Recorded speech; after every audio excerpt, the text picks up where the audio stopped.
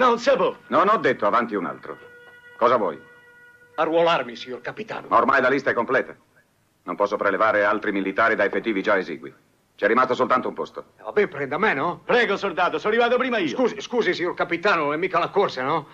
Ci dia un colpo d'occhio prima di dire fuori uno e dentro l'altro. E anche il lato fisico mi pare dovrebbe avere il suo peso.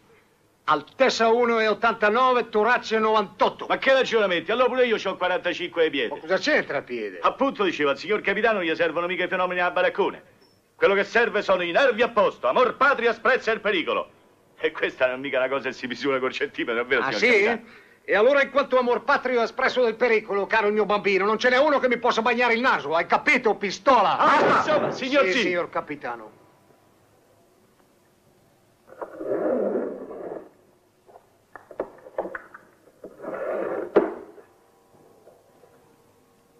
Tra pochi secondi questa bomba scoppierà. Vedremo chi di voi due ha veramente più sprezzo del pericolo. hm?